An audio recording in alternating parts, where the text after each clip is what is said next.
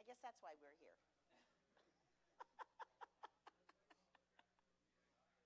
we are playing music. that could be the reason why they stopped. I just scarfed down salad so fast. Everything's gone. Just scar- I'm like, I'm going to take it while I can. Not that I needed it, because they didn't. Oh, we're supposed to smile.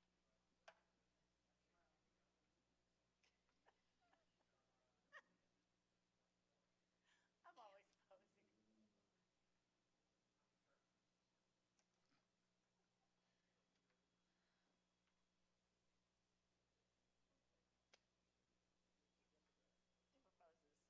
Different poses. You don't want to do one and the same one, right? Twenty? What? I am on it.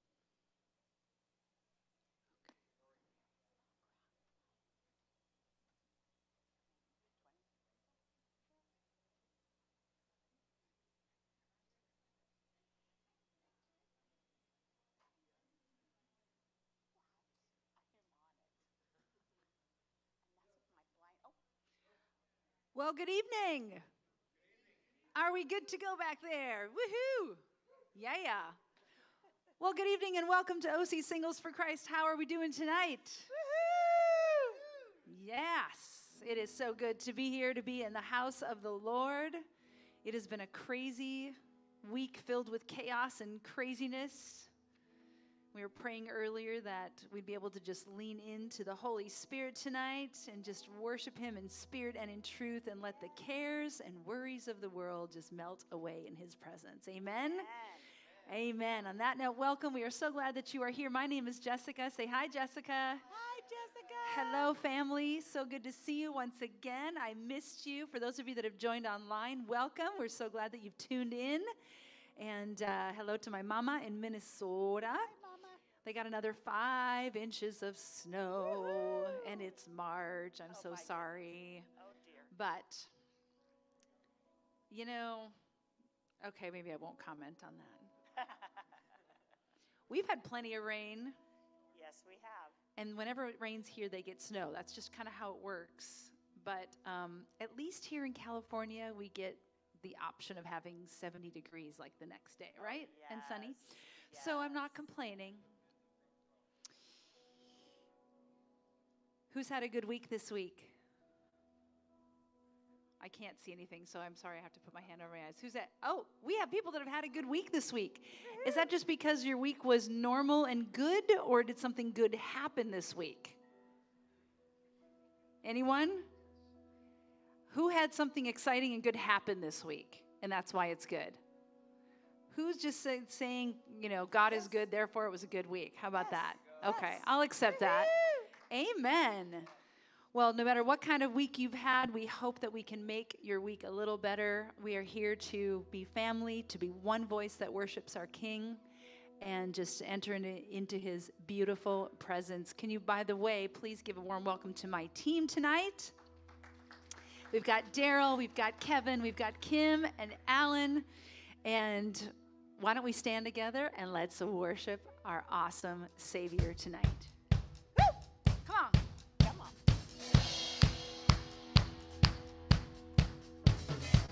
Those hands together tonight. Lord, we give thanks to you. Forever you are faithful.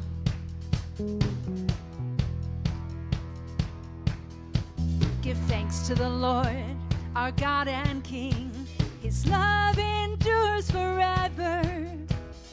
For he is good, he is above all things. His love endures forever. Sing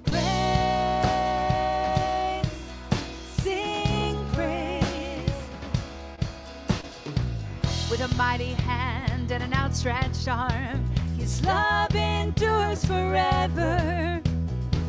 For the life that has been reborn, his love endures forever. We sing praise, we sing praise for you, Lord. We sing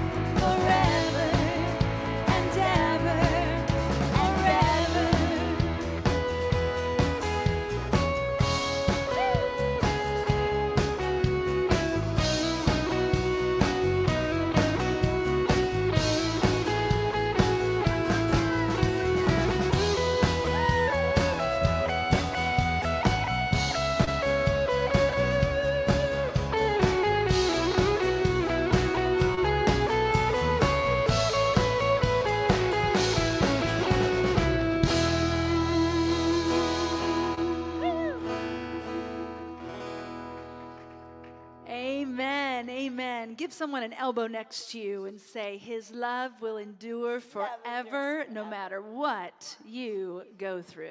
Come on.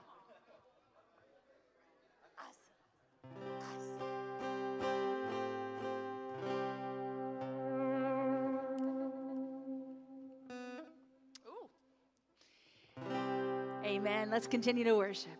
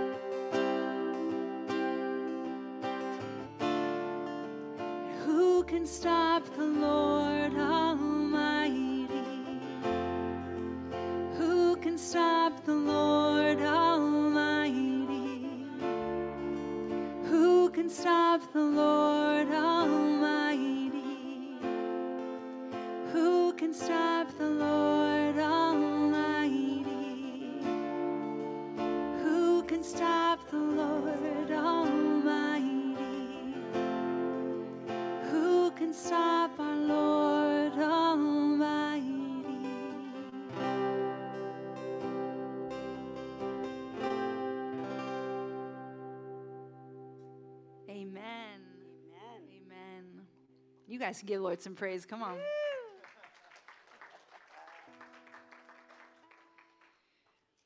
You know, I've always thought it interesting that the serpent did not tempt Adam and Eve to steal in this moment, to steal or to kill or to commit adultery. He simply tempted Adam and Eve to question God's word to them. Isn't that the biggest challenge in our lives? Did God really say? Did he really do that? Our faith. But guess what? Tonight, God says, You are whole in him. He says, You are restored, you are redeemed, you are cleansed, you are healed, you are forgiven, you are free. So, Lord, as we just bow our hearts before you tonight, we proclaim your goodness over our lives. And we say yes and amen to what you have said about us. Thank you, Lord. Amen.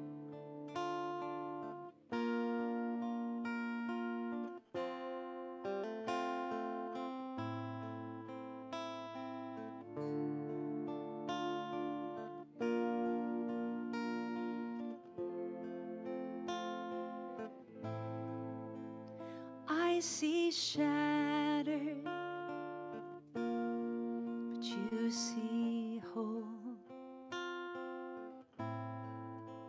I see broken, but you see beautiful. And you're helping me to believe.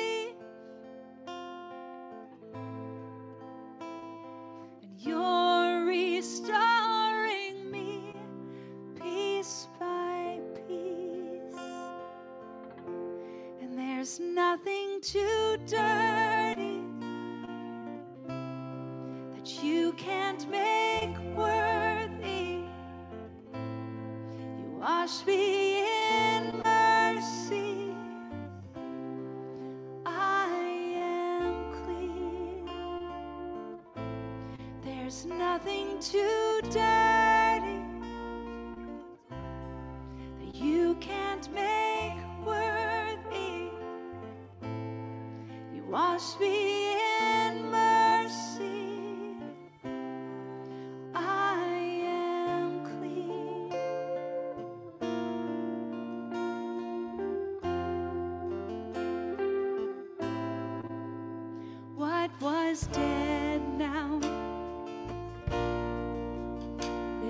again. My heart's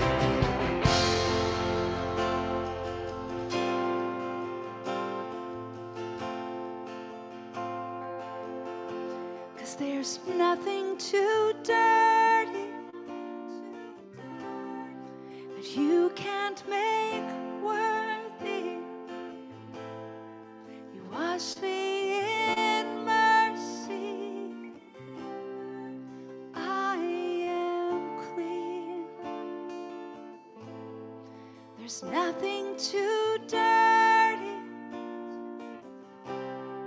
that you can't make worthy. You wash me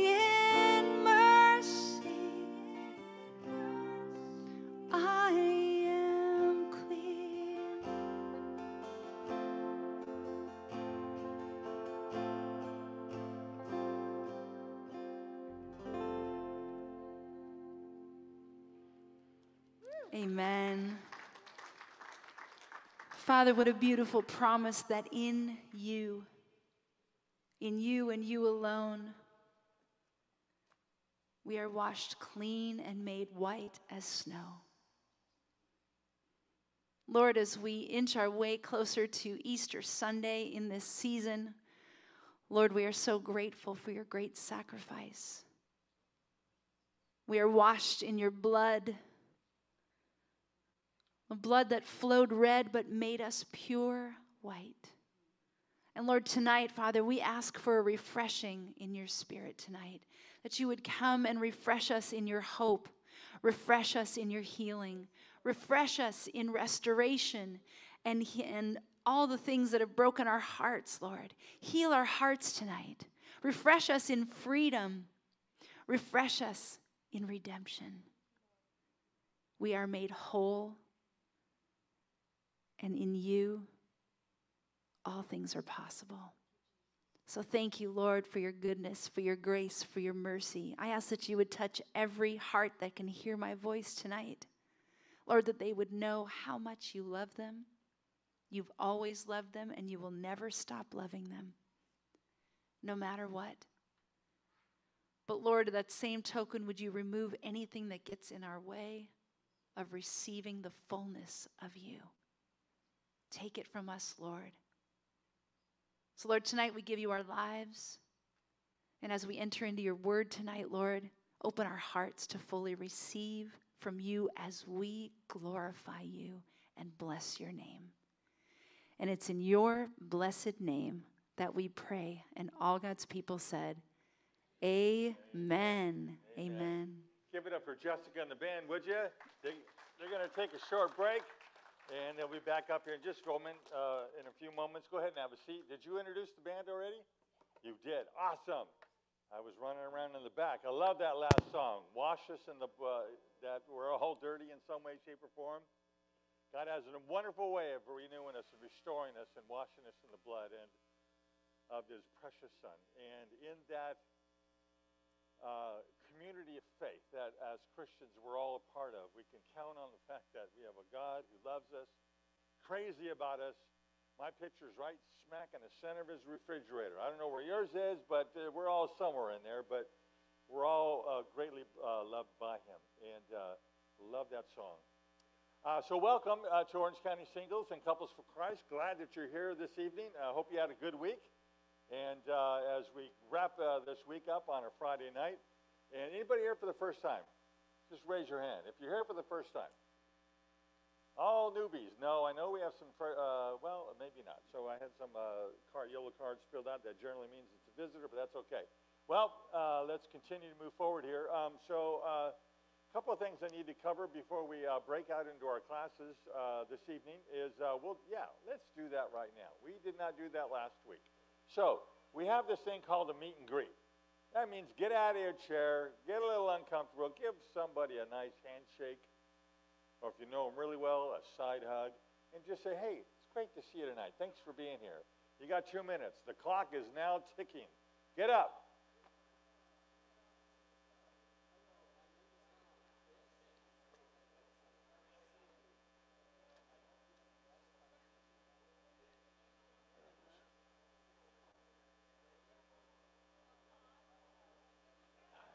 I've already-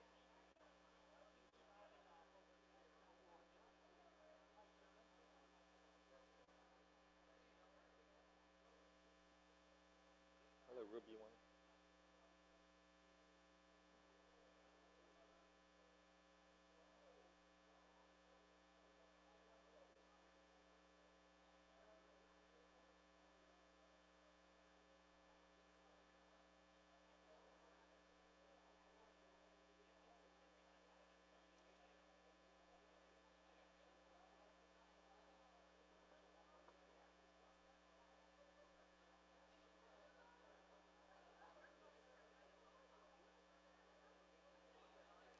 All right, 50 seconds. Get around, 50 seconds. Say hello.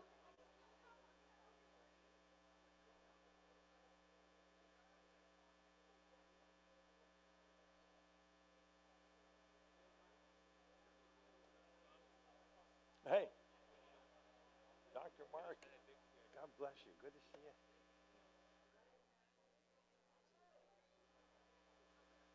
All right, 20 seconds.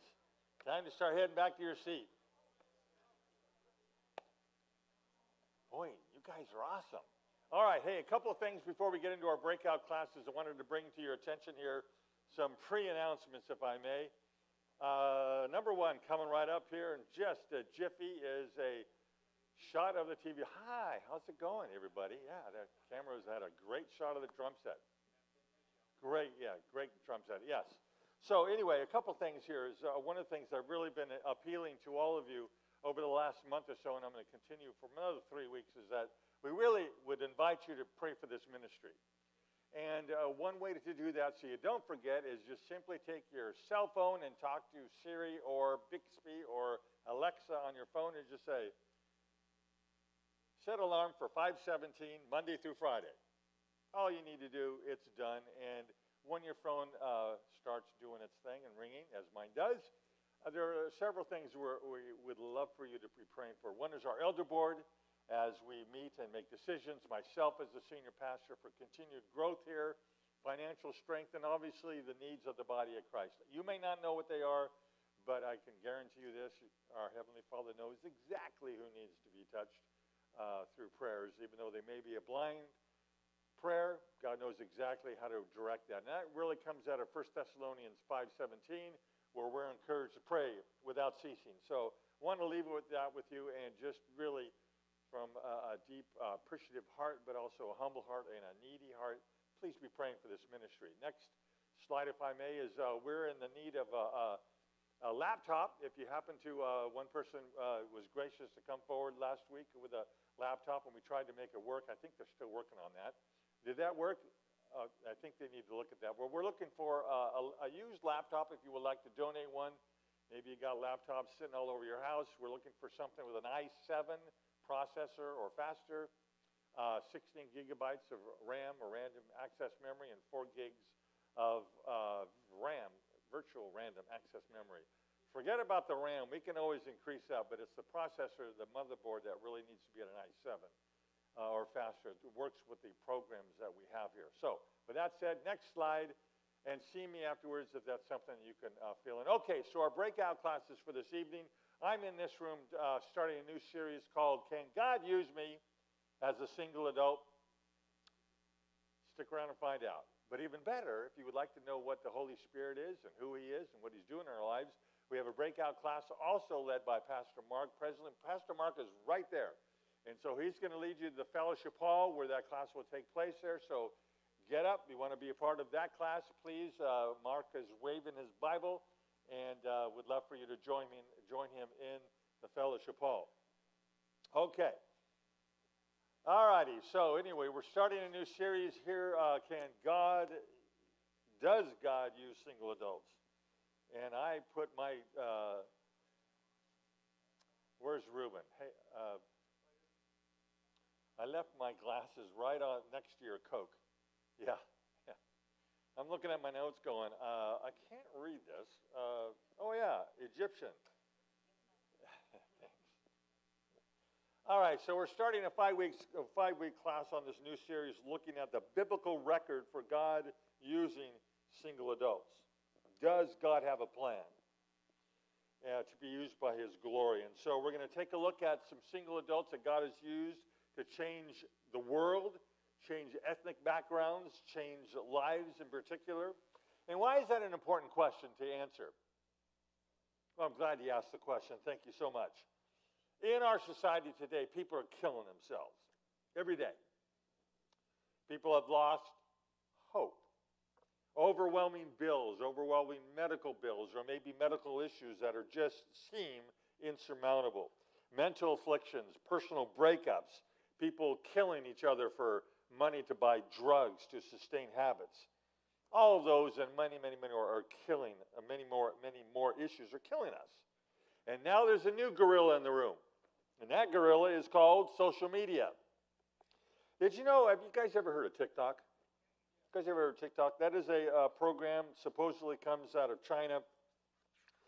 And uh, also, I, I, as I've read, it is uh, monitored by and influenced by uh, Communist China for our uh, country and others.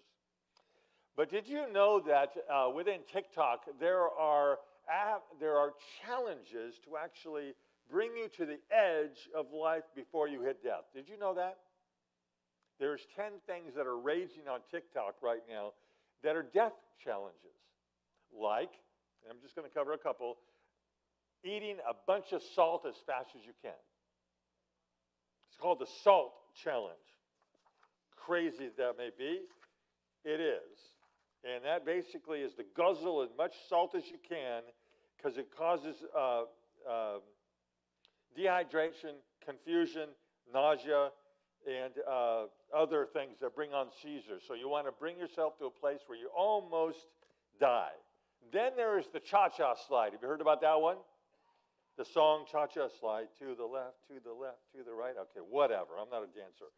But this one is taking your car and going to this left to go to the right in conjunction with or in tandem with that song, which is killing people. Obviously so. Because you're jerking your car in violent ways in order to, uh, to flip the, the idea is to flip your car over. There's the penny challenge. Take a penny and stick it in the wall socket so you can get a real charge out of life. Killing people.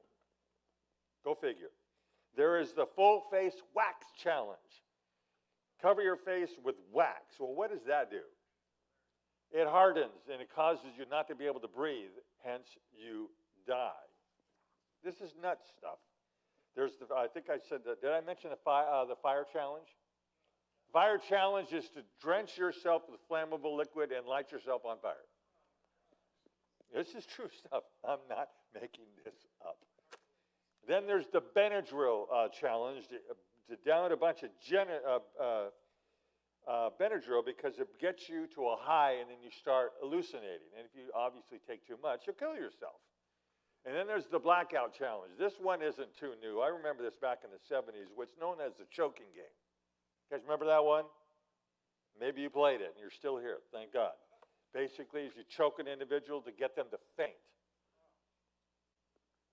Hey, this is, a, this is what our youth are looking at in the absence of hope. Fentanyl use, homelessness obviously has a lot of different uh, reasons for homelessness. And one brush doesn't cover all the issues, but people have lost hope. It's incredible. And uh, the sad thing is, hopelessness leads to, if it can lead to one taking one's life. I don't know if you read this or not. This came out last week. There was a CDC survey uh, involving 17,000 youths. Uh, and check this out it's girls are especially at high risk for mental health issues.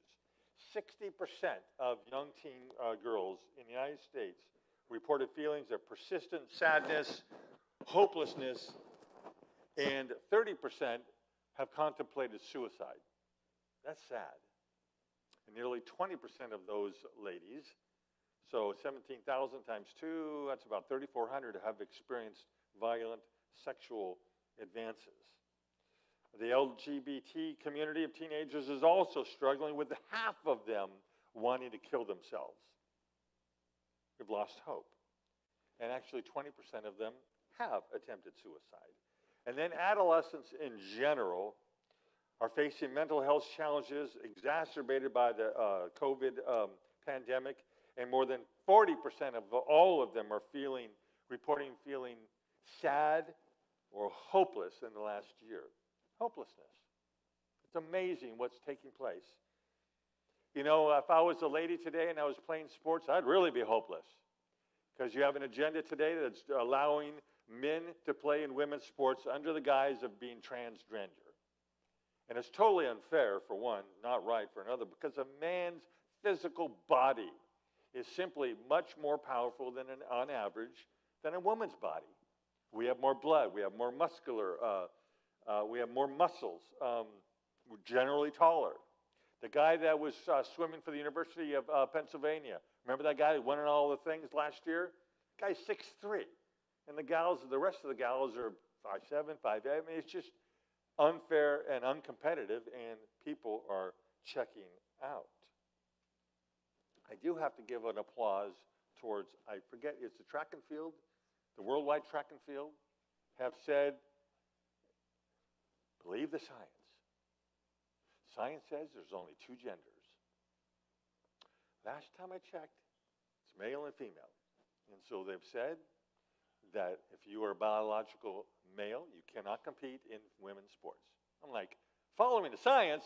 I thought that's what uh, everything was all about, following the science, only if it pertains to your particular viewpoint and what you want to uh, push on people. But they're following the science. Finally, somebody is recognizing the obvious. You're either a male or you're a female. It's pretty simple. But women are losing hope in the sports world. Our society over the last 50 years has pretty much thrown God out the window. In doing so, people are left without a source, really the only source for hope and significance in life, and that is God. We've taken the rug out from people's lives, and now we're reaping the whirlwind. Does God care about the single adult? Many don't think so today. Statistics are simply bearing that out in survey after survey after survey. People are losing hope. God, in His infinite wisdom, has chosen you and I as His kids and has given us the privilege to be co workers with Him in building His kingdom here on earth. Now, today is a spiritual kingdom.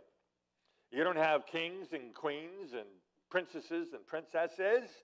You don't have palaces. You don't have moats, security cameras, guards on horses, and all that kind of good stuff. However, it is a very real kingdom, and yet it is unseen. And soon it will be seen. And the entire world that remains when the kingdom comes will recognize that God's been here all along. No surprise there. God has been actively involved, and God will vindicate himself against every naysayer or atheist in that day. And there will be no unbelievers in that day, by the way. Every knee is going to bow, every tongue is going to confess that Jesus Christ is Lord. End of story. That God is using people like you and I to further his kingdom here on, all, here on earth right now is giving you and I unbelievable opportunities to witness of his great love and care. And that there is hope and there is significance to this life in which we live. To be able to reach out and rescue those who are held captive by the adversary Satan himself. And as we do so, some may turn and accept Jesus Christ as Savior and Lord. And as we look at some of the Bible characters and examine their lives, we got to remember that none of them in the Old Testament see what we see today. They didn't know about Jesus Christ. They knew faintly that there was a Messiah to come, but not really a whole lot more than that, or that the permanent the Holy Spirit would permanently reside in people's hearts as they do today. None of us, Old Testament and saints alike, knows what lies ahead. But Scripture does tell us that your future is going to be glorious. I love the phrase that says this earth is as bad as it's going to get for you and I. The best is yet to come. In the meantime, we trust, we obey, we pray, and we walk by, with God by faith. Through storms, upsets, conflicts, we keep our eyes on the prize that's laid before us, and that is following Jesus Christ. Tonight, I want to tell you a story. I haven't done this before in telling stories, but I'm going to tell you a story that covers 10 chapters of the Old Testament. These 10 chapters are full of intrigue, hatred, beautiful people, riches untold, arrogance, murder, sleeplessness, humble people. And for the sake of time, i am going with the highlights of those 10 chapters. So that, but I know and I trust that you'll get the gist of where I'm coming from. You know, the stories of the Bible and stories in general are meant to capture our imagination and get us to fantasize about the reality of the story. Last week I went to go see uh, Jesus Revolution for the second time. I actually liked it better the second time around than I liked it the first time. You just you missed a whole lot of stuff. I had no idea that in my roots as a Christian were straight out of the Jesus Revolution, Jesus movement of the 70s and 60s. I was leading Bible studies in the Bay Area back in the early 80s, and I was leading the worship part, teaching the Bible study, and leading the worship part of it. And I was using this book that was straight out of Calvary at Maranatha, which was part of the Jesus movement. I had no idea that any of this stuff was, had taken place. And through the movie, I, I've learned of that. I cried through that movie. I was moved by the scenes of love and the tragedy of addictions. Uh, that, they really touched me. It's a different movie and a different take about Jesus Christ and how he's moving in the lives of three individuals Lonnie Frisbee, Greg Laurie, and Chuck Smith. Now, there were another 20 or so, people that were really integral to the movement that are not told in the movie. Obviously, because of time, you just can't develop the full theme. But what makes for a good movie is good, good writing, a good script, a great director, great editing, appropriate music, believable actors and actresses, cinematography. You know, the Bible has the best director ever. Believable actors and actresses. You have the Holy Spirit as the editor. Can't get any better than that. Music, eh, cinematography, eh, didn't exist back then, but it doesn't matter. The stories of the Bible are for yours and my edification.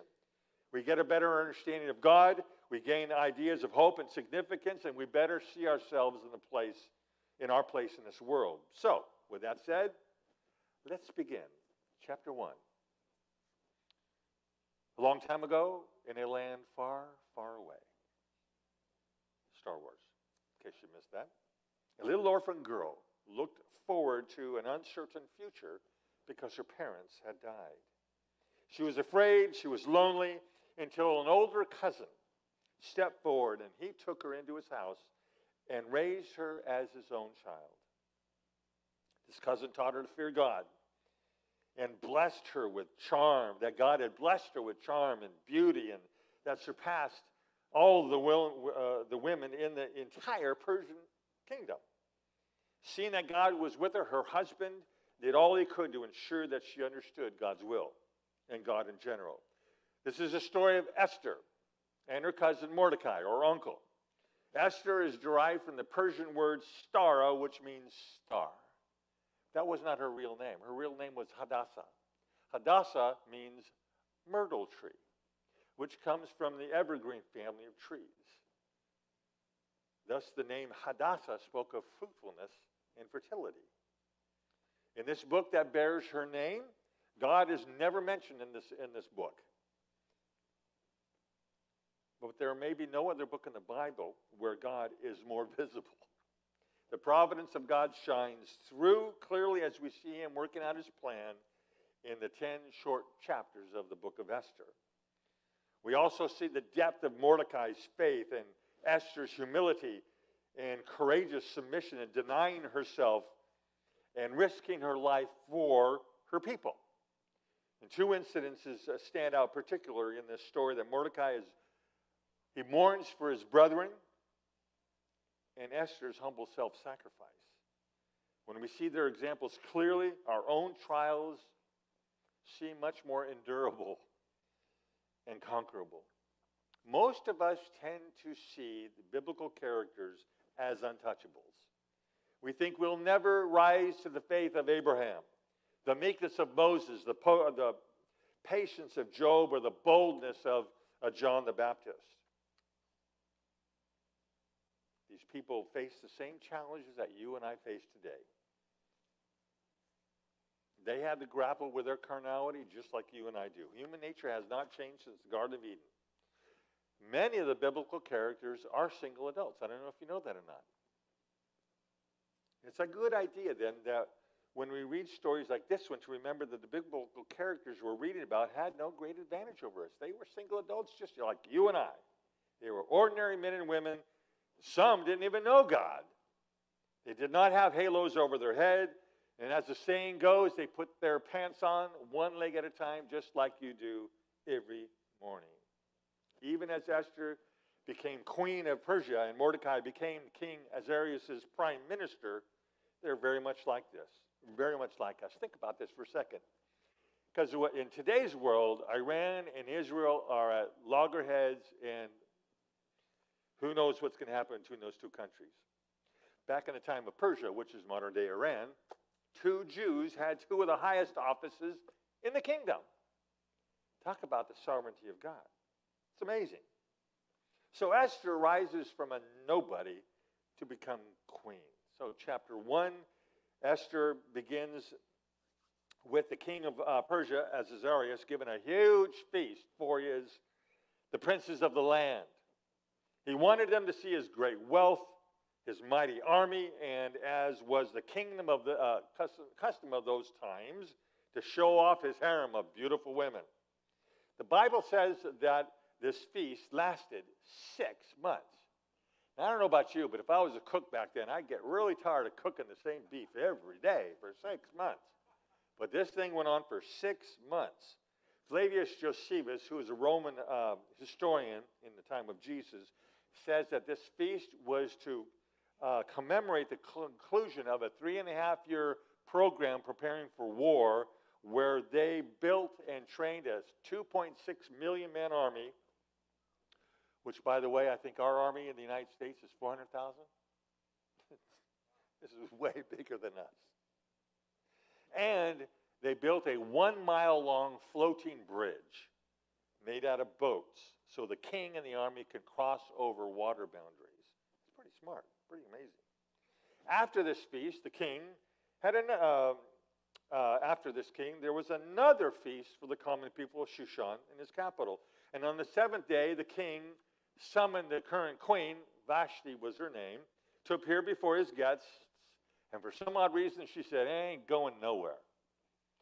Some Bible call, uh, uh scholars uh, think that, and based on what's going on, history, etc., that she was, uh, she was um, summoned to appear before all these drunken guys naked. That's true. I don't blame Queen, the Queen. But the king got very mad, angry, and by a refusal and later signed a decree that she would be stripped of her crown and never to see him again. Her house was taken away and probably everything else she owned.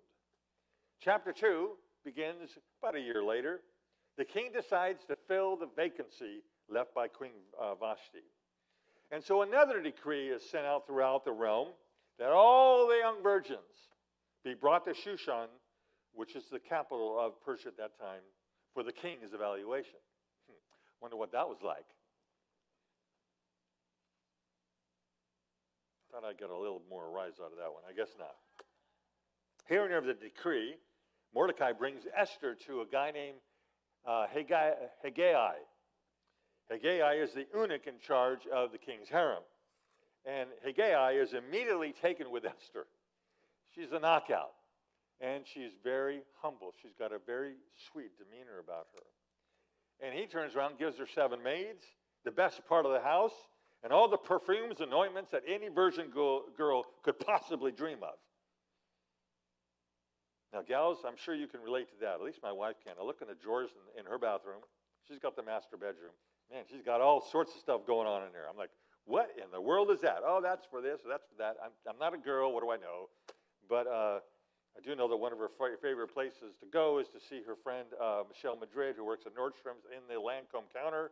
So you can kind of figure out the rest on that. It was the Persia. It was the custom of Persia at that time that virgins be kept in the house of women for one year for purification, and after that time they would appear one by one before the king, so he could choose one to be the next queen.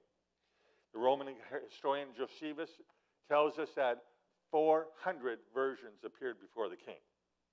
I don't know if that was a woman every night, one every other night. I don't know. But the king must have been one heck of a guy.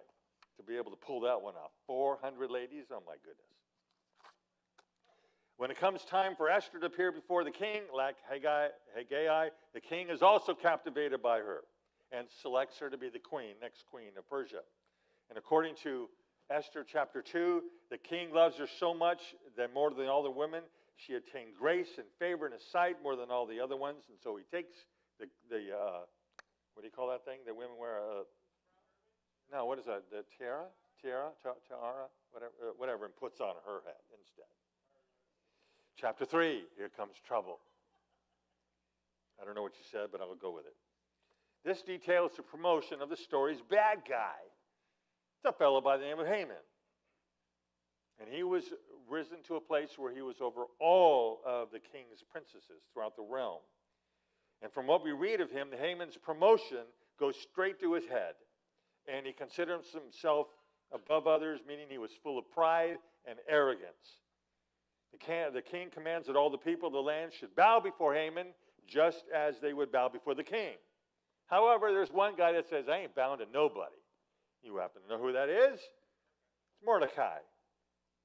Mordecai was a man. He knew that there was only one king and one God, and he ain't bound before some guy. Mordecai's anger grows every time he passes by Mordecai. Mordecai's hatred may also be fueled by the fact that he is an Amalekite. And the Amalekite and Mordecai is a Jew. And the Amalekites and the Jews have been fighting each other for centuries. It all goes back to when Israel was coming out of the, uh, the wilderness. The Amalekites resisted the Israelites. King Saul, who is Israel's first king, fell out of favor with God because he didn't do what God told him to do, which was handle the Amalekites. And if you read the story, God just basically says, kill them all. Men, women, children, animals, whatever, obliterate them. You're thinking, God said that? Well, if you understand what's taking place, uh, God was angry with the Amalekites, plus their sin had run its course. So, Haman devises a plan to not only get rid of Mordecai, but also all the Jews of the realm. And so, with the king's approval, a decree goes out that on a certain date, the Persians were okay to kill all the Jews. Now, at this point, taking a step back, the circumstances that now confront Esther demand a closer look. She has to, what she has to do must have been really difficult. She's been living off the lamb for years now. She's got it all. She's got makeup, she's got perfume, she's got the best food, the fresh vegetables, the best makeup, the best hairdresser. She's got it all. She's lost touch with being a commoner. And the king and she probably had a few uh, interests and pursuits uh, on top of that, or hobbies. The king even tells her, and he tells you about his love for the king, is that when she comes in, he says to Esther, What do you want? Up to half of the kingdom is yours. What do you want? So she had it all. For Mordecai's part, Mordecai comes by the woman's court every day to see how Esther's doing and checking in with her, er, with, Uh, in with her. Undoubtedly, Mordecai is her closest advisor and keeps her feet planted on the ground. Mordecai probably suspects at this time that God has put Esther in a position, a position that is one of great power and influence. Any married guy will tell you who runs the household. The wife just makes you think that you run the household. She is the boss of the household. They say, happy wife, happy life, right?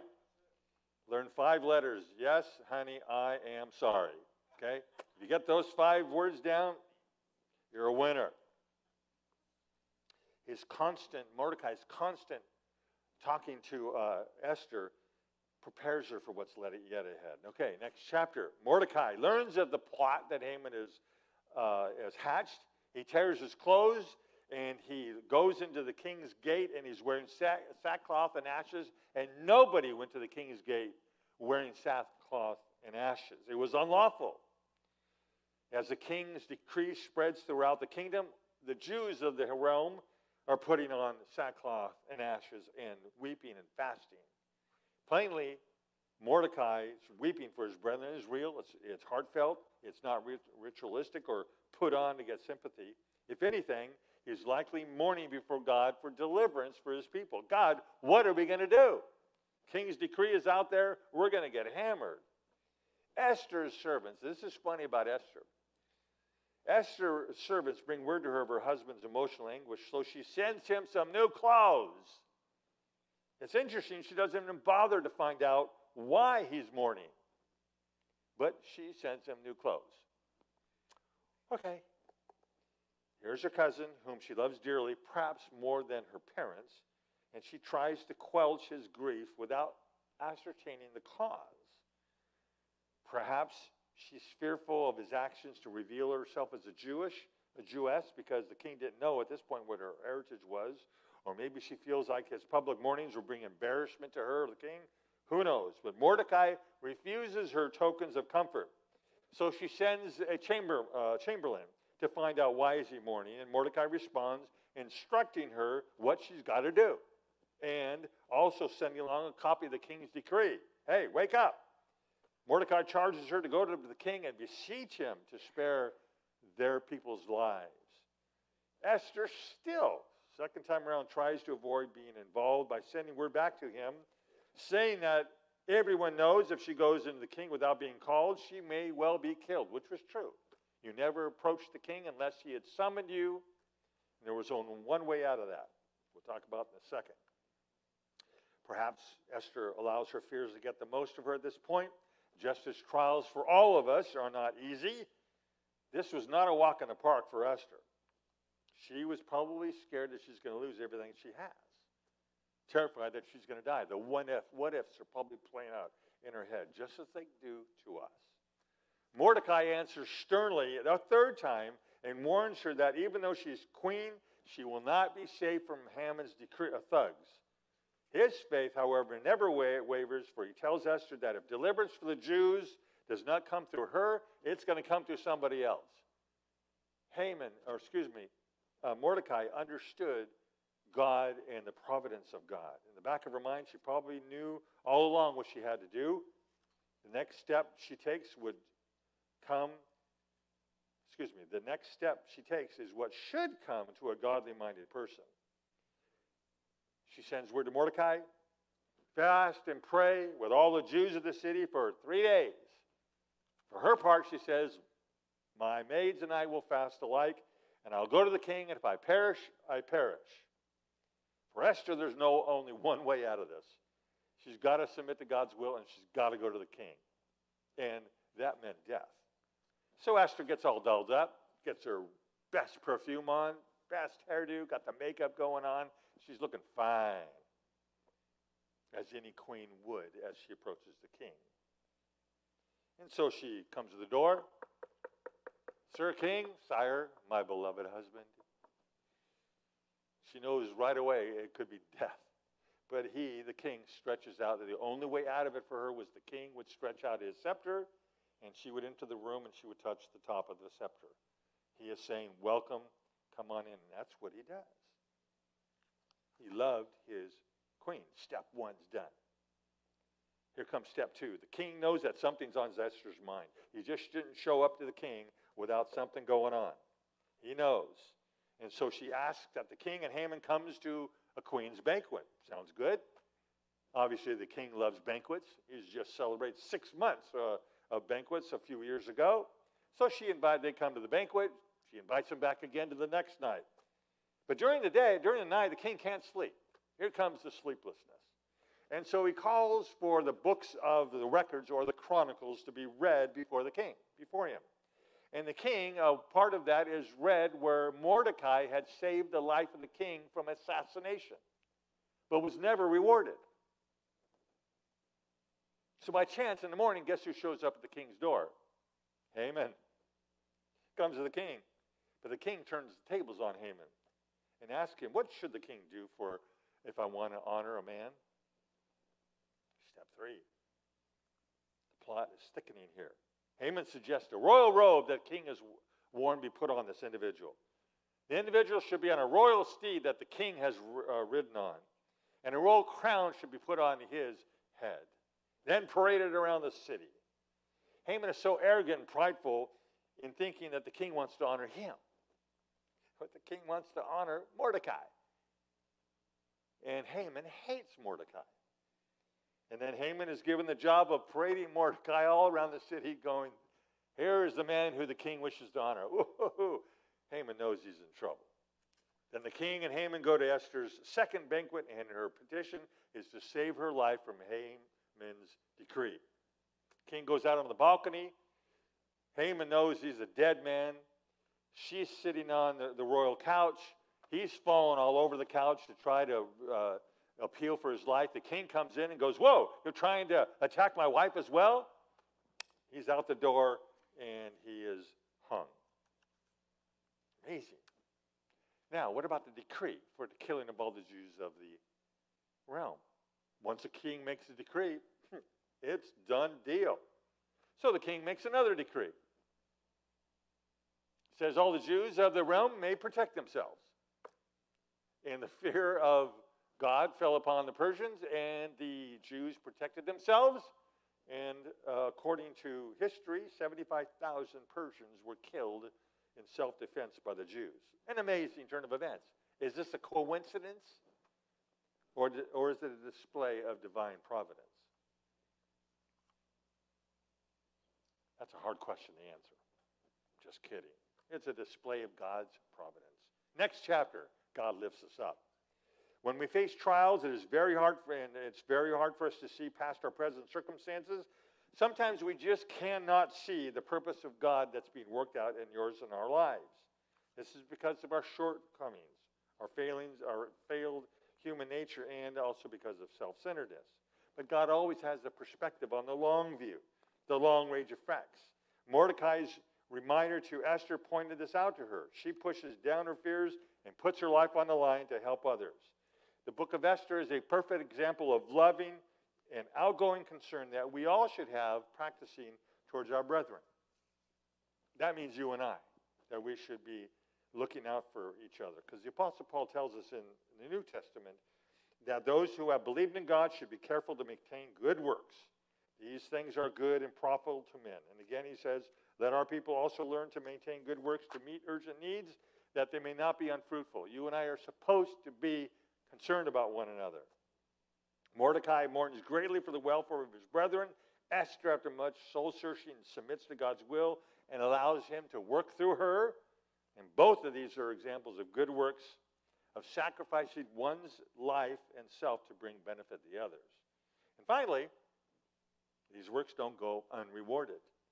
God exalts Mordecai to prime minister of the realm, a position of great wealth, trust, responsibility, prestige over all of Persia. Esther remains the loyal and faithful wife of the king, and from all indications, her wealth and power in the realm increase as well. God is certainly faithful and generous to those who humble, who humbly live his way of loving, concern, and self sacrifice. Amazing. That would be like today having uh, Benjamin Netanyahu to become uh, the prime minister of Iran today, next to the underneath the Ayatollah. You think that would ever happen in a million years? Not going to happen. War is about to break out over there, especially what's going on the last couple days with the United States and Iran. It's pretty uh, interesting. We're throwing missiles at each other, folks. But think about that how God had placed two foreigners to become people of great influence and second only to the king. It's amazing. So, as single adults, what are some takeaways that we see from the story of Esther and Mordecai's life? Now, there's a lot more to be said on this story. I've just given you the highlights. So, here comes the slides. Uh, Mike, I think that we're in the yeah, not Consequences not listening to God. Had Esther not listened to Mordecai, the Jews could have been wiped out, and there would be no Savior, there would be no Jesus Christ, there would be no fulfillment of other Old Testament prophecies. What happens when we don't listen to God? Mordecai makes a point to Esther that if she doesn't rise up, eh, deliverance will come from somebody else. We need to make sure that our spiritual antennas are operational and well tuned to hear God speaking to us, or we'll miss a blessing and an opportunity that God had originally in store for you to do or me to do. If we're not listening, the opportunity passes us by. You see the power of prayer and fasting. It's number two. In the New Testament, there are eight references to fasting in the New Testament Gospels. There is something about prayer and fasting that works. My thoughts on this is that when we are denying our flesh, we demonstrate our seriousness about an issue with God. We're saying, God, this is important here. Because doesn't Jesus say in Matthew, ask and you'll receive, seek and you will find, knock and it'll be open to you? What's the purpose of that? It's for us to seek Him because we're telling God this is important. That's why I'm, I have been calling you to prayer on uh, 1 Thessalonians 5.17. This is important to me and the elder board and hopefully to you as well that we prosper and flourish. Eight times. See, you see the sovereignty of God lived out in people's lives. Esther was born an orphan. Excuse me, she became an orphan Jewish girl that rose to become the queen of Persia. She had access to the man. Mordecai, also a pious Jew, did the right thing in protecting the, uh, the pagan king.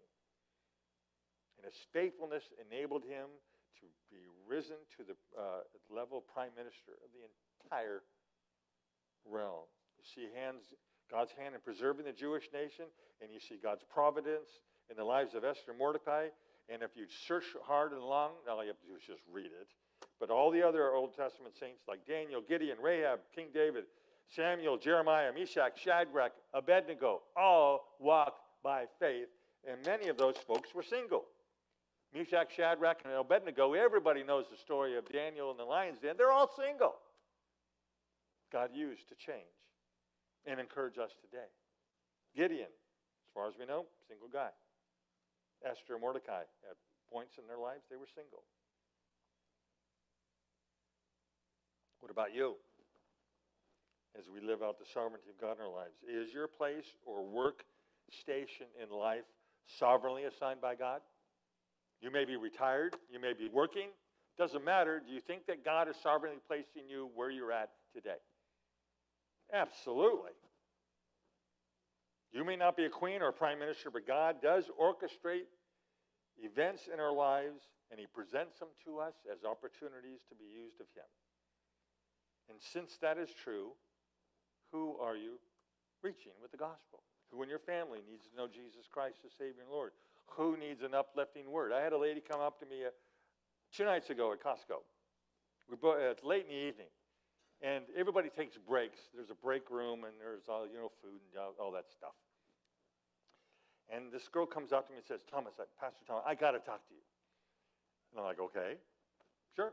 I'm sitting there with a Starbucks coffee, and I brought in earlier, and I put it in the locker room so that I could warm it up later on the evening because you're working to about 10:30, 11, and you can use a little juice from caffeine. And so she gets her, her, her, her food and she sits down and she tells me this story. And she's not a believer, guys. She's not a Christian. And she's telling me this heavy that's going on in her life and in her, in her home. It's her home that some relatives are living there and she needs to get them out. And she was asking for, do you know anybody who could help me get these people out of my house? And through the talking of that, I could see I had no answers. You know, I mean, I have answers, but she'd already walked through them. But I, I knew that there was one thing that would comfort her at that moment, was to stop and just pray for her. And I said, you know, this may be an uncomfortable uh, situation here, but do you mind if I pray for you? You can keep looking at me, but I'm going to talk. I want to talk to God for you. Is that okay? She's like, yeah. And I went on for 10 minutes praying for her and asking God for deliverance. I don't know the rest of the story yet. I didn't see her yell last night at work, so I don't know what's going on. But opportunities come our way all the time.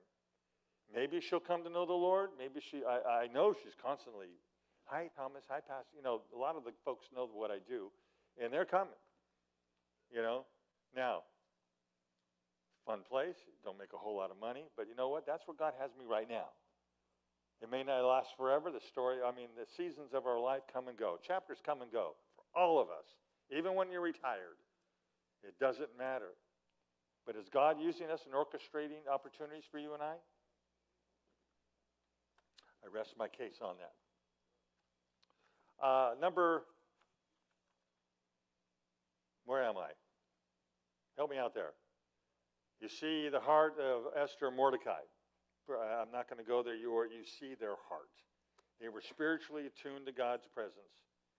And as single adults, I think you and I, I think you guys have the best opportunities in how to reach people and build the kingdom, even more than married folks. And finally, God's enemies are going to get their reward, either in this life or in the life to come. And Haman got his. He got hung the next morning on gallows that he had prepared to hang Mordecai on. He gets hung on. There are people in your life that have done you wrong. There are people in your life that don't know the Lord and they've done you wrong. And you go, Where's the uh, recompense? Where's the justice? When is God going to do something? He will. That's his promise. You read uh, Second Thessalonians chapter 1, 5 through 9, it, Paul is very clear. God always has the last word. And we walk by faith and we trust that God will have the last word. So, one of the things we need to ask ourselves a question is Are we a, a God's enemy? I am sure most of you know Jesus Christ, your Savior and Lord. Praise the Lord if you do. If you don't, see me afterwards. Let's get that one handled. But there's a lot right in on that question. Does God care about the single adult? I would argue, you're darn right he does. This may have escaped your notice. I got a big surprise for you. Do you know God's single? God the Father has no wife. The Holy Spirit has no wife. Jesus doesn't have a wife yet. There is the wedding feast of the Lamb coming, which the church is married to Jesus Christ. But right now, the Godhead, for all eternity, has been single. Hey, don't let that one your mind, you know? I think that's really cool, you know? Now, don't get me wrong, I don't think God is uh, choosing, you know, single versus married. Both are blessed in Scripture. But, spoiler alert, they're single.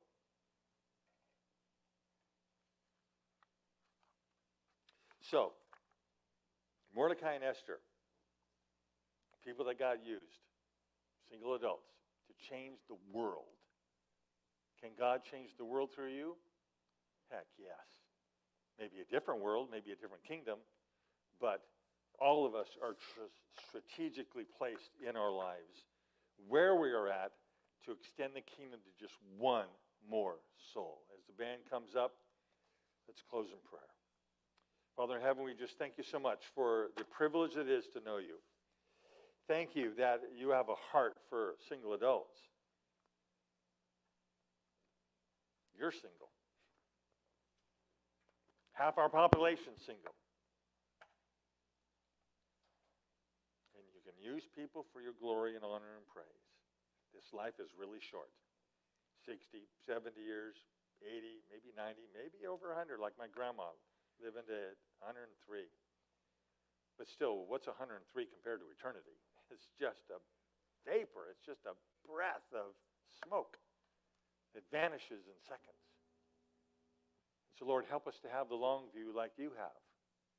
Help us to understand and know that this life is so short, but what we do in this life impacts eternity, both for our lives as well as the people that we're touching on a day by day basis, whoever they may be.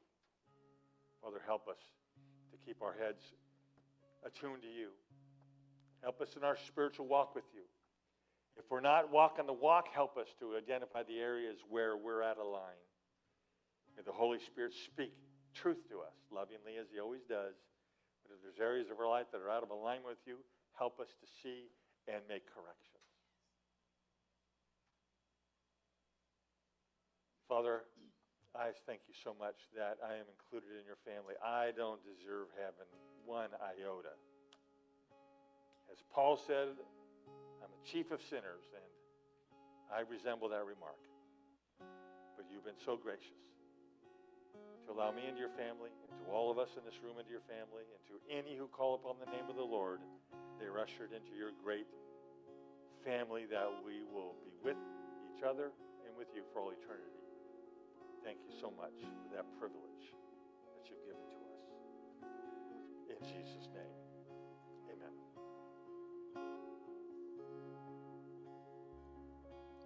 Amen. Why don't we stand together one more time?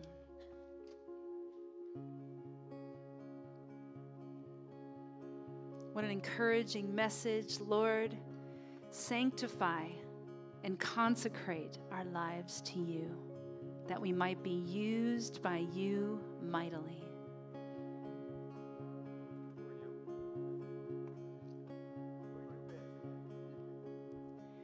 Take my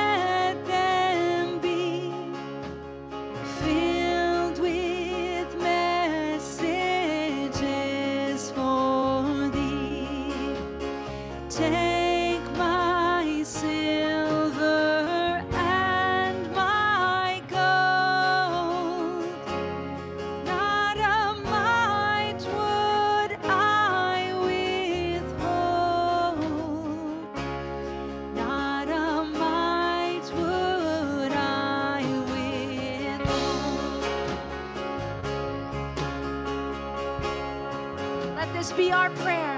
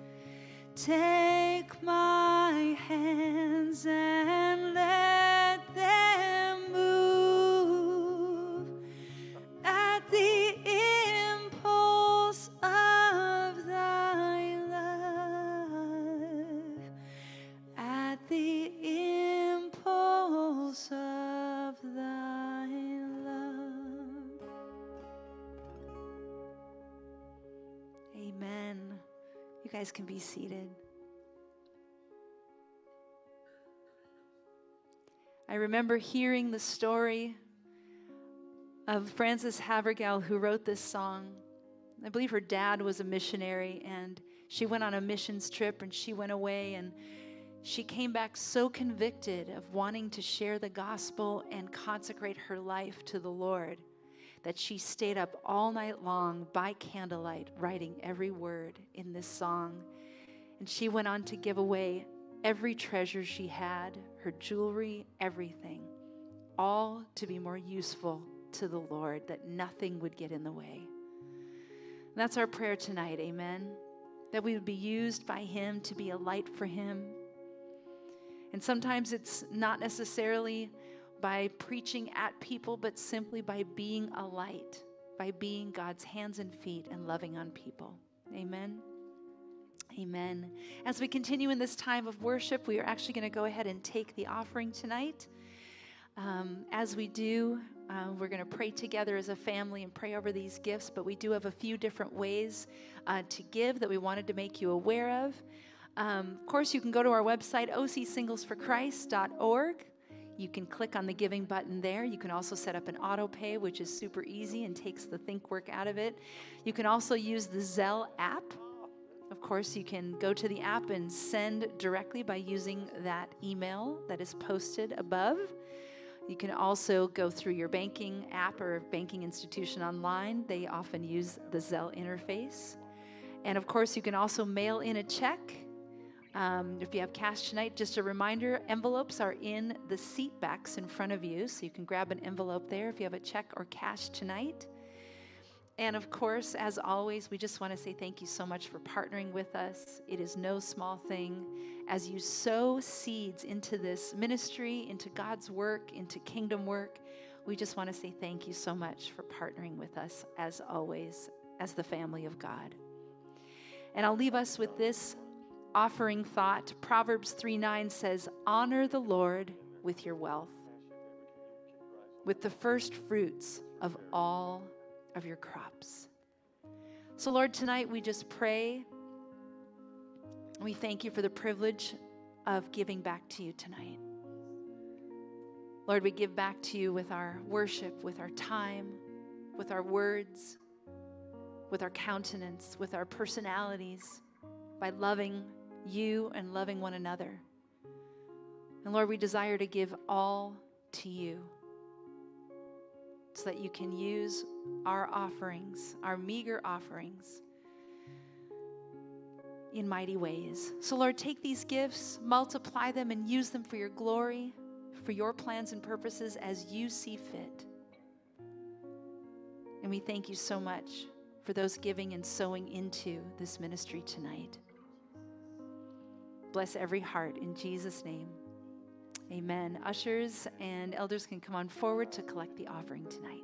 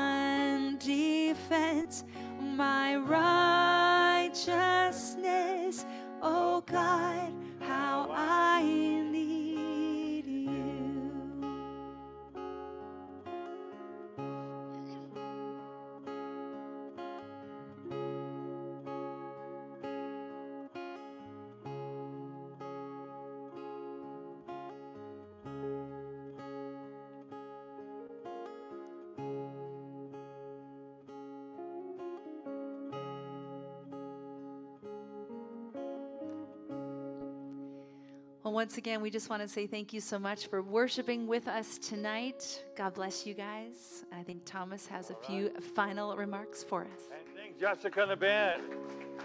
We need you every hour. I love that song. Amen. Okay, so a couple things here. I am your, I was the pastor tonight teaching, and I'm also the MC tonight hmm. because our MC couldn't make it tonight. So uh, the band's going to kind of do their thing in the background here, unless they're going to stand there for five minutes, but I think they need to go home. So Do our thing. Anyway, a couple of things, and we'll wrap it up. Uh, I have a tendency to do announcements very quickly, so get your thinking cap on. And the announcements are all new tonight, so uh, keep up. Thank you. Okay, first off, number one is uh, for those of you who may have enjoyed the uh, worship service tonight and our time in the Word, you're welcome to go to our Facebook page and spread the word. And the share button underneath the little TV set that you see on Facebook, share it with whoever you want. And uh, we invite you to do so. Also, I do want, uh, it's uh, facebook.com forward slash OC Singles for Christ. Also, a week has a tendency to throw curveballs at us. So if you ever need prayer during the week, we have a prayer team that meets on Thursday nights. And so if I get an email from you or a phone call, and you wish for me to share it off to, uh, uh, I pray for all, everybody, but also to uh, the team. We're here for you. So it's prayer at ocsfc1.org. Next slide. All right, stay in touch. Okay, for those of you who may, and most of you are, that uh, you're welcome to be on our uh, newsletter that uh, goes out every Tuesday at 1 o'clock. And also, if you happen to be on Meetup, you can just go to Meetup. Now, that's our resource table. That's right over there and uh, you'll find uh, different kinds of paraphernalia. Uh, business cards, if you want to invite a friend, free, take them. Postcards, tells us who we are, a little bit bigger for those who can't see the postcard, which I resemble. Uh, you can take those, many as you want, and uh, let people know about us. Word of mouth is the best form of advertising, so you're welcome to tell anybody you know that uh, we are here every single Friday night, except the last Friday of the year. All right, next slide. Okay, uh, next slide. Okay, we're going quick. Get involved. Next slide. Okay, so we have a couple opportunities to serve here. We have a, I believe the cafe team is full now. Uh, I believe the greeting team is full. Marcia, are you in the room? That's full, right? Okay, we're good. There are two teams that do need help. Uh, Nick Cusinella, where's, uh, where's Nick? You're not here tonight. Okay, I believe we. Uh, Let's skip to the events team. So, the events team is a team that we used to have that got wiped out uh, when COVID hit. And we do all sorts of stuff hiking and movie nights and, you know, go to the Ronald Reagan Library or whatever you want to do. And so we need to reconstitute an events team. And so if you have a anchoring for doing events and helping out in that area, come see me afterwards. We need to build a team of about 10 people. So, next slide. Upcoming events. Here we go, guys. Here's the new stuff. Number one, can you believe it? Good Friday is just two weeks away. Now, uh, I just found out that uh, we're going to be here at 7 o'clock, not 7.30. I was originally told at 7.30 to 8.30. It's actually 7 to 8 is our Good Friday service. Still here, Jesica and some of the band will be here to lead us in worship along with, this is going to be a combined worship service with Pacific Church of Irvine, which is this church, and ourselves. Ought to be a beautiful evening. And then afterwards, we're going to do a fellowship dinner. And uh, in the past, we've been at Watermark, uh, our previous location. There was a restaurant not even a mile away, uh, which was Acapulco Restaurant. We are trying to find a restaurant that's reasonably priced and uh, that we'll go to afterwards, or we may just do a fellowship dinner here. We haven't put those details together, but I guarantee by next Friday you'll know. Next slide. All right, what is this one here? This is the next uh, free dance at Moon Goat Coffee Roasters in Costa Mesa. It's on April 15th, the same day that your taxes are due. So pay your taxes by the 15th, and then come and breathe a sigh of relief or a nice warm cup of coffee and dance to your heart's content for a couple hours. Next slide. All right, so there is a wi- women, women, guys, check out for two minutes. Women, this is for you. This church, the ladies put on a monthly tea. Uh, I think it's every month or every other month. And uh, you are invited to their next tea. Us guys, we can crash the party, but eh, we'll leave you alone. So the, the event is a, the power of a story, and it's going to be from 12:30 to 2:30 here at this church. Uh, it is free. However, a suggested donation for the food is 10 bucks. But you do have to sign up. So there's two ways to sign up, ladies. On the back table there, there is a card. Front side says the Tea. The back side, uh, I don't know if I made a slide for the back side. Maybe I don't think I did. But that gives you the link and where to sign up. They just want to know you're coming. Okay? So either one of these things, it's a lot of fun. I'm told that it's they they they have they have a killer party from what I'm told. All right, so next slide. hey, our next dance is coming up called Motown Grooves. So we have a live band called MC Express. We have a DJ. His name is F1 in parentheses. You know, DJs always have their weird names. Okay, this DJ is F1. It'll Be Saturday night, the last Saturday of the month, 6 to 11:30. There will be a nice, beautiful Mediterranean dinner that will be provided, and the cost has gone up a little bit to by $2. We are finding that our expenses are just going up. We've been trying to hold the line, and uh, we just are at that place where we just couldn't. So it's 27 bucks here on Friday nights. Friday night, or you want to go online, it's 28 bucks. And if you want to save yourself $10, do all that before the 28th because the sign-ups online stop on the 28th, which is a Friday night, and then the price goes to 37 bucks. Now, all that stuff will, is already online. Next slide. That's all I'm going to say about that. What's next? Okay, so we have our next potluck. How many of you here last Friday night for the potluck? Raise hands. I know there was a lot of you here because you, the food was gone, and I don't know what happened with all the uh, the beef. What's the beef called? Corned beef. I don't know where it all went, but there was a bunch of stuff when I looked. I didn't even get any. but anyway, this next one will be a Mexican theme. So, tacos, enchiladas, Spanish rice, guac and chips, tortilla soup. Get creative. Mexican food theme.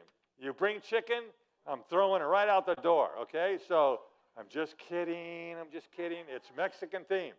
So we will spread out the tables and we will have something like the game show that we had last Friday night, which, hey, thank you for all your responses. I got a lot of great responses on that game show that was graciously put on by Yamo and uh, Trisha. Did a great job with that. Yeah, give it up. It was really a lot of fun.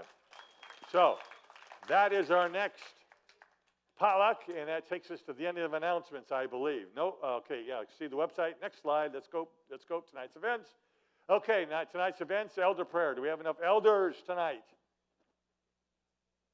Phil, uh, one, and we got okay. We'll have elder prayer behind that window over there. If you want elder prayer, the guys will be there for 20 minutes. Okay. So go outside the door. Just make a left and make another left into the first door. You're there.